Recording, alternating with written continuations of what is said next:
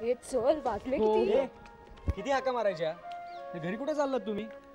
रिहर्सलला यायचं नाहीये? आम्हाला जाम भूक लागली. आणि दोन वाजायच्या आत आम्हाला घरी पोचायलाच पाहिजे.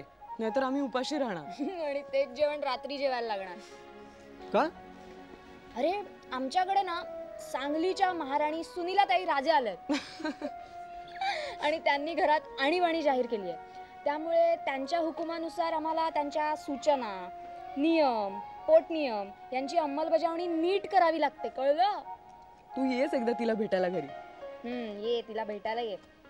हे मी काय म्हणते अं, मी पुढे होऊ म्हणजे निदान मी तरी वेळेवर पोहोचेन मग तुझा निरोप सांगते तिला. हो हो. ठीक आहे? ओके. हा, चल मग बाय. बाय. बाय. लवकर ये. हो, हो. बाय. आजी एकदम शाण्यासारखी कशी काय वागली? तिचं ना काही सांगता येत नाही. तिचा स्वभाव जरा विचित्र आहे. तिची ओन स्टाईल आहे. तुझी काय स्टाईल आहे? तुला माहिती आहे आता तुझं पण सुरू होईल. मला घरी जायचंय मला उशीर होतोय. जाऊ दे. संध्याकाळचा काय प्रोग्राम आहे? तर तो पण तुझ्या ताईराजे ठरवणार. ए माझ्या ताईला काही बोलायचं नाही हा? एकदा घरी ये मग कळेल. बरं बाबा आय एम सॉरी ओके आणि जर का मला तुला भेटायचं असेल तर तू तुझ्या ताईला खोटं बोलूच नकोस.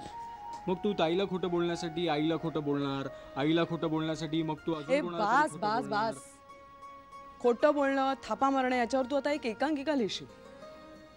आणि फॉर युअर इन्फॉर्मेशन मी घरी खोटं बोलून थापा मारून तुला भेटत नाही. हो? घरच्यांना सगळं माहिती असतं.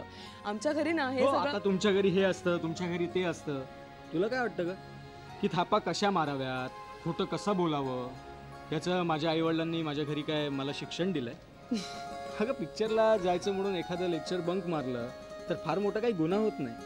आणि कॉलेजला असताना माझ्या वडिलांनी जे केलंय तेच मी करतो वा. हे सगळं माझ्याशी बोलतोयस? म्हणून बरं आहे. वडिलांसमोर बोललास ना तर कानफडतच मारते बरं चल मी निघते. आणि हो संध्याकाळी तुला मला भेटायचं असेल तर घरीच ये. मग आपण एकत्र जाऊ. ओके? ओके. बाय. बाय.